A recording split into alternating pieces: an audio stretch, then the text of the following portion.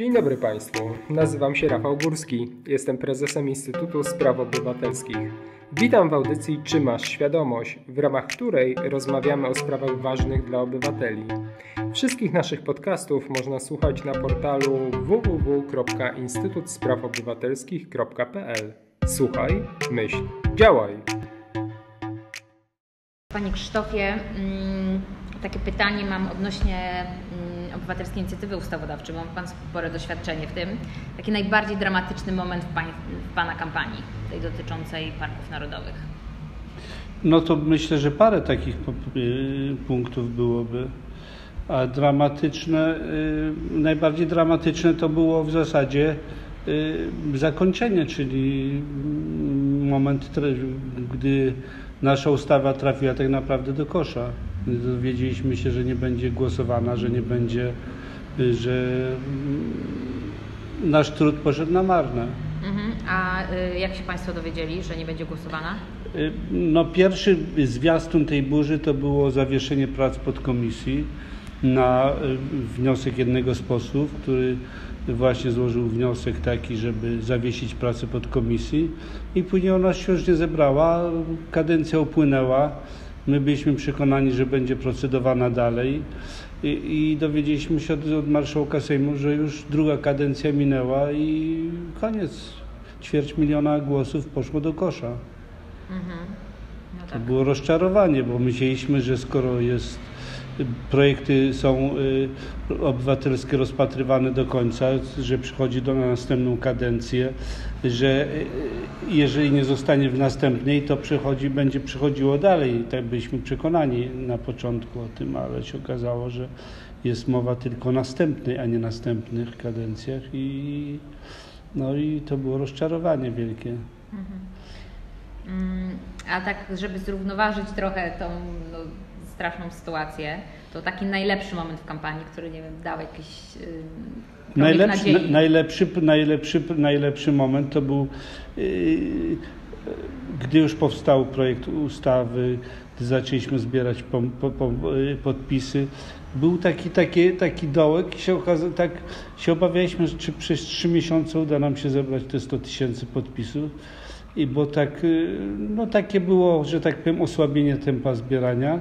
I najciekawszy moment i najlepszy był, jak się okazało, że zebraliśmy nie tylko 100 tysięcy, ale ćwierć miliona podpisów. Mhm. Także to było takie budujące, że udało się nam y, koalicji dużej, y, ogólnopolskiej w sumie zebrać te ćwierć miliona. To było, to było bardzo ciekawe i bardzo wszyscy byliśmy zadowoleni z tego faktu. Super. Co jest do zmiany w ustawie w pierwszej kolejności według Pana? Y, w moim przekonaniu zapis odsyłający do regulaminu prac Sejmu.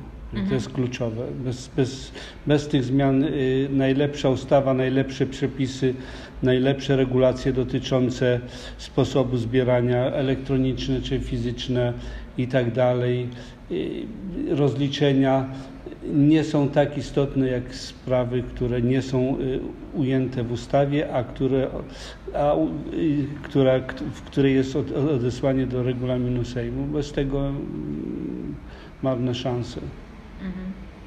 Ustawa po prostu y, precyzuje bardzo szczegółowo początek przed rozpoczęciem drogi legislacyjnej i po zakończeniu całej działalności. Natomiast nie reguluje chociażby czasu y, y, rozpatrywania projektu obywatelskiego, y, czyli tą, w tą pułapkę, w którą my wpadliśmy, że dwie, przez dwie kadencje to nie były dwie pełne kadencje, to było w sumie mm, pięć lat rozpatrywania projektu obywatelskiego.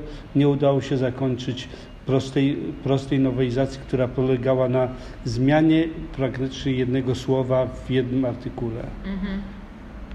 Chodziło o zamianę słowa uzgodnienia na opiniowanie. Niby niewielkie słowo, a zupełnie zmieniające treść i sens całej, całej inicjatywy. Mhm. No i tyle. Nie udało się tego zrobić, bo nie było określone, nie ma w rozporządzeniu określonym ani w ustawie, jak jest procedowany. Pierwszy jest tylko początek, że pierwsze czytanie kiedy się odbywa i koniec już później dalej nic nie ma. Już jest wolna amerykanka. Co radzi Pan tym, którzy zbierają, znaczy zabierają się do zbiórki podpisów, rozpoczynają obywatelską Cierpliwości i wytrwałości. Najważniejsza jest wytrwałość i konsekwencja w działaniu. Bez tego nie ma mowy. Mhm. I nie poddawać się, nie zrażać niepowodzeniami. Tak jak my wszyscy działamy od wielu lat jeden ze, ze, z, naszych znajomych, z naszych znajomych żartuje, że my jak, te syzy, jak syzyfy pracujemy, ale no to jest taka troszkę walka z wiatrakami, troszkę orka na ugorze i w związku z tym trzeba być konsekwentnym i działać i nie poddawać się. No. Nikt nie powiedział, że będzie łatwo. No tak. No. I takie ostatnie pytanie. Mm, dlaczego obywatelska inicjatywa ustawodawcza jest ważna? No bardzo ważna jest, bo obywatele mamy społeczeństwo demokratyczne i powinno mieć e, możliwość wyrażania swoich poglądów. E, jak wiemy, Sejm i przedstawiciele nasi w Sejmie i w parlamencie, e, ich, ich wybór to jest jedno, ale i Sejm i Parlament nie zwracają uwagi na wszystkie elementy, na, na, wszystkie problemy. W związku z tym obywatele powinni też mieć możliwość wyrażania swoich bezpośrednio poglądów. Nie tylko wyrażać swoje poglądy poprzez y, akt głosowania i wrzucanie kartki do urny, ale także aktywny udział w kształtowaniu prawa. Dziękujemy za uwagę i do usłyszenia w następnej audycji Czy masz świadomość? Wszystkich naszych podcastów możesz słuchać na portalu www.instytutsprawoobywatelskich.pl. Słuchaj, myśl, działaj!